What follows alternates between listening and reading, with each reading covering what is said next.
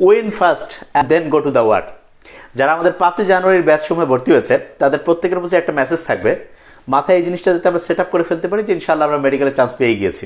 এবং এই উদ্দেশ্যকে সফল করার জন্য অভিভাবক এবং শিক্ষার্থীদের বেসিক কিছু কাজ রয়েছে। যেমন আজকে ক্লাসের পূর্বে, এখন বলা যেতে পারে এই ভিডিও আপলোডের মধ্যবর্তী যে সময়টা রয়েছে ক্লাস শুরুর মাঝখানে, এই সময়ের মধ্যে প্রত্যেকের গার্ডিয়ানের কাছে একটা আবেদন থাকবে যে তাকে যাতে একটা সুন্দর দুই সালের ডায়েরি কিনে ফেলে। এবং সাথে চারটা খাতা মিনিমাম এবং চারটা কলম খাতা চারটা কী কী হতে পারে? একটা হচ্ছে বায়োলজির খাতা, একটা কেমিস্ট্রি একটা ফিজিক্স এবং একটা হচ্ছে ইংলিশ সাধারণ জ্ঞান। কেউ যদি চায় আটটা খাতাও কিনতে পারে। কীরকম? যেমন বোটানির জন্য একটা জুলজি একটা ফিজিক্স ফার্স্ট পেপার একটা physics second paper chemistry first paper chemistry second paper English এবং সাধারণ জ্ঞান। টোটাল মিনিমাম চারটা খাতা কিংবা ম্যাক্সিমাম আটটা খাতা কিনতে পারে। তার সাথে যেটা হতে হবে, চার রকমের কলম থাকবে।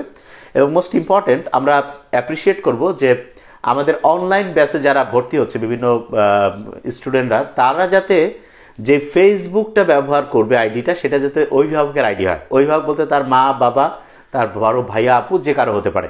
এবং সবচেয়ে ইম্পর্টেন্ট জিনিস, শিক্ষার্থী শুধু যখন ক্লাস করবে, তখন তার গার্ডিয়ানের যে হচ্ছে যে কি বলো এটাকে যে ফেসবুক আইডি আছে সেটার মাধ্যমে গার্ডিয়ানই হচ্ছে ক্লাসের মধ্যে লাইভে তাকে নিয়ে আসবে।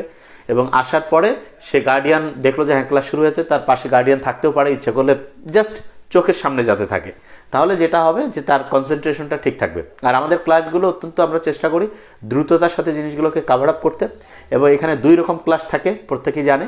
সেটা হচ্ছে আমরা সপ্তাহে তিন দিন করে মিনিমাম লাইভে আসি। কখনো প্রয়োজনের কারণে বেশিও আসতে হতে পারে, কিন্তু তিন দিন লাইভে আর প্রত্যেক দিন ডেইলি যেই দিন যেই লেকচার হওয়ার কথা, সেই দিন গ্রুপগুলো প্রাইভেট যে গ্রুপ রয়েছে, সেই অনুযায়ী ইনশাল্লাহ রেগুলার তিনটার মধ্যে লেকচার সেদিন আপলোড হবে। যেখানে বুঝতে প্রবলেম হবে, ঠিক নেক্সট ডেতে ওই ইয়ার উপরে লাইভ হচ্ছে জুম লাইভের মাধ্যমে হচ্ছে যে সলিউশন ক্লাস হবে। তবে মোস্ট ইম্পর্টেন্ট জিনিস যেটা, সেটা হচ্ছে আমরা টাইমটাকে সবচেয়ে ইম্পর্টেন্স দিই। সময়টা এত গুরুত্বপূর্ণ এবং এই মধ্যবর্তী সময় সবচেয়ে দামি জিনিস হচ্ছে সময়।